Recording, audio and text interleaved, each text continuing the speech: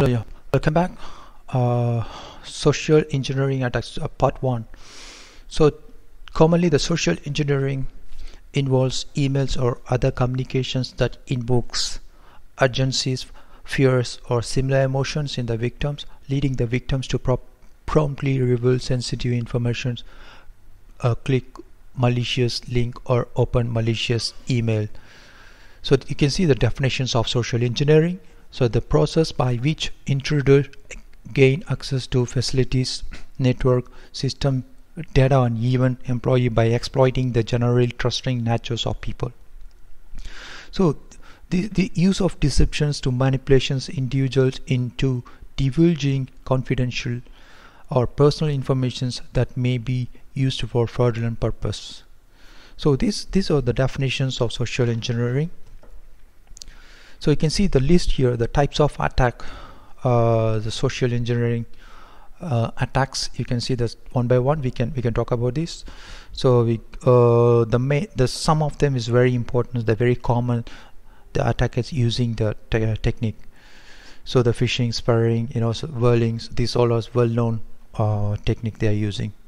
So we we will talk about this so you can see the life cycles of uh, social engineering attack so it is first uh, as a hacker so this he select victim is a high profile guy on social media. And then second one is a research victims. And third one is a develop relationship. And fourth one is exploit relationship. So the select victim so once he uh, the hack as a hacker so once he select a victim then he research victim. Meaning the research is an information gathering process where the information about the target is retrieved the attacker should know as much as possible about the target before starting the attack. So the third one is a developed relationship. So the next uh, the next part is uh, the development of the rapport and trust with the target. A target is more likely to divulge request information to an attack if the trust if the trust the attacker according to the books wrote by Mitnick and Simon 2002 you can find you can google it. So there, there's a lot of information that he shared. So rapport and trust development can be done by using inside insider informations misrepresenting and identify sitting those known to the victim showing a need for assistance or occupying an authority role. So once the third part is done the final one is exploit. The next phase is exploit relationship. So when a target appears to trust an attacker the attacker exploit the trust the uh, trust to elicit information from the target. So this can either take the form of form of a request for information a request for a specific action from a victim or alternatively to manipulate the victims into asking the attacker to help so the, this the information you can also find uh, from the book you know the Mitnick and Simon's uh, books. So the phase is uh, this phase is where this phase is where the previously established relationship is abused to get the initial desired information or actions. So this is a common one. The social engineering attack types so online. How does it work and offline how does it work? So the what techniques are they are using? Uh, so so these are the main major techniques. So the communication spoof spoofing fraud phishing. So phishing is a very common. So when sending the phishing is sending an email purporting to be from reputable companies in order to induce individuals to reveal personal informations so spear phishing. Spear phishing is sending email ostensibly from a known or trusted sender in order to induce targeted individuals to reveal confidential information. So the two uh, types of phishing is uh, they're doing the same job, but they're but uh, doing a different way. So you can see here, so what is phishing attack? So how does it work? So the attacker, you can see the number one, the attacker sends an email to the victim and then victim click on the link unknowingly and goes to the phishing website it's redirect to the phishing website so then attacker collect the victim's credentials and then attacker use the victim's credentials to access website in the legitimate website you know. So this is how uh, the the visual thing you can see that in picture. So phishing example. You can see the verification of account the number one. So from you need to verify the account the from address and to address uh, and the date of uh, email sent and then hyperlink. So if, if this domain is malicious or legitimate or not legitimate so you have to check this. So there is a tool out there. So you can also find is a dynamic analyze uh, is automatically dynamic. So they have the database. Uh, if you just copy and paste it on the uh, those listed uh, website this uh, dynamic analyze it, it picked the uh, previously stored you know the malicious websites as, as a data. So it is very useful tool so you can play around with this. Communication spoofing fraud. So whaling so whaling is a phishing attack a phishing attack that is specifically aimed at wealthy and powerful or prominent individuals. So whaling is also uh, so I give you a small example. So it's in early 2016 the social media app Snapchat fell victim to whaling attacks when a high-ranking employee was emailed by a cybercriminal impos impersonating the CEO and was fooled into revealing employee payroll information. So this this kind of you know uh, this is the best examples for whaling. So then then next one is a vishing. So vishing is just making a phone call or leaving, leaving voice messaging messages purporting to be from reput reputable companies. So the vishing attacks, uh, I can give you another example for vishing. Uh, it's, a, it's, it's a phone call about a free offer to telling uh, you telling you that you are you have won a prize, but in order to redeem the uh, freebie, you must first pay for shipping and handling. So, other exa example is a call saying you know you won a prize uh, such as uh, cruise, such as a cruise or Disney vacations, you know, this kind of don't trust. This is scam.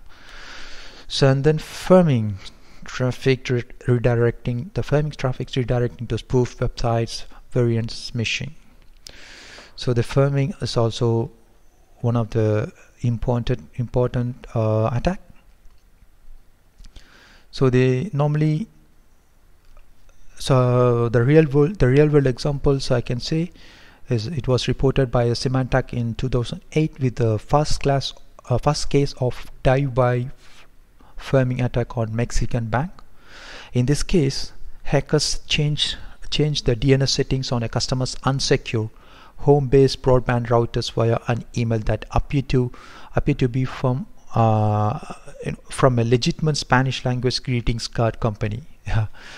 So the malicious code in the email changed the user router to redirect the web uh, browser, the web browser to the attacker fake fraudulent bank site. So this is how uh, this is the best example for pharming.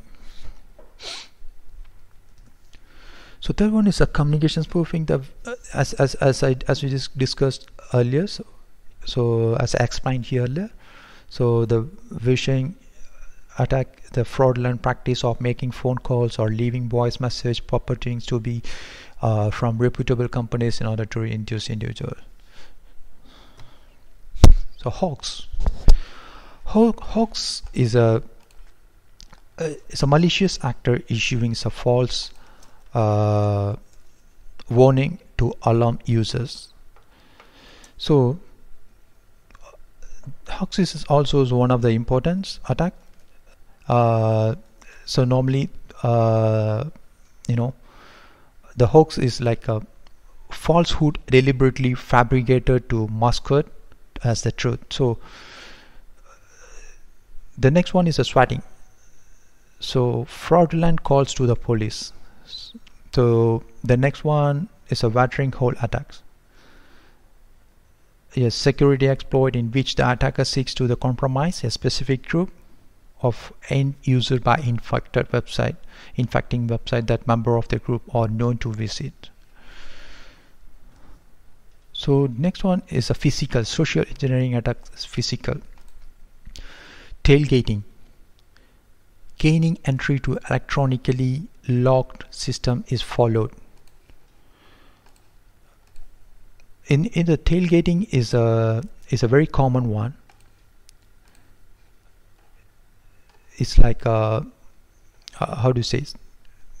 if someone follow you you have to be extra care so the tailgate tailgater attacks or piggyback piggybacking attack is one of the most common security problem problems in every organizations around the world today so this attack can cause a huge amount of damage to an organization through the data breach data manipulations or theft malware attack by deployment, malicious software, etc.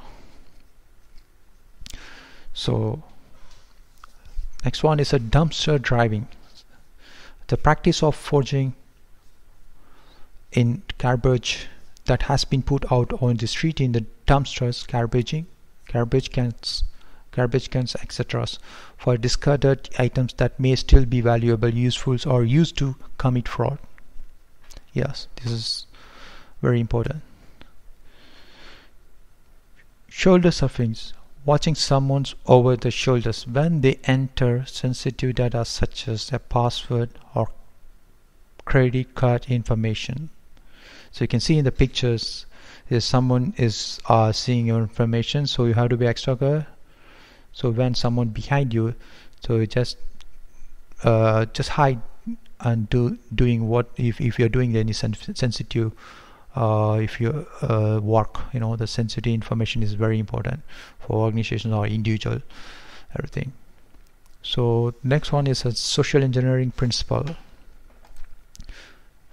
Is a there's a list you can see there uh, authority intimidations concerns scarcities familiarities trust urgency reciprocity reciprocity the list the those listed is uh, so it's more effective the principle of the social engineering.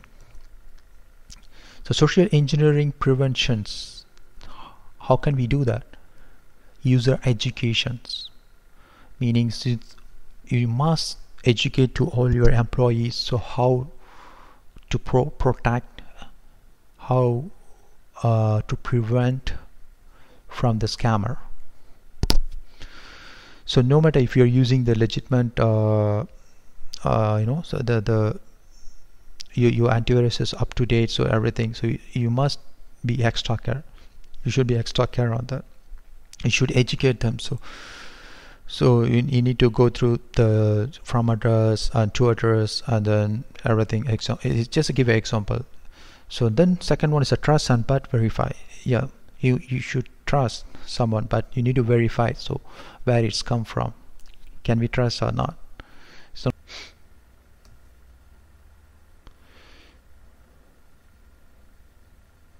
okay. So the next question okay the question so okay let's go for our questions. A user contact you suspecting that his computer is infected. Yesterday he opened an email that looked like it was from your uh, it was from your uh, it was from your colleagues. Uh, when he later talked to that, uh, that talked to that person she said she never sent an email what type of attack is that most likely that causes of, of the infection. Can you guess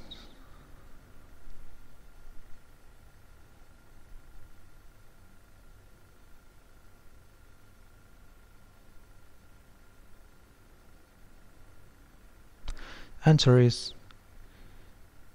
spear phishing okay? Next question.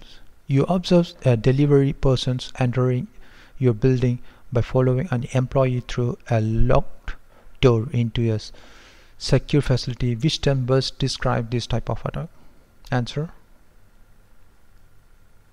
Answer is tailgating okay guys so we'll see you next video. So please subscribe my channels uh, please press the bell button to get more updates. Bye bye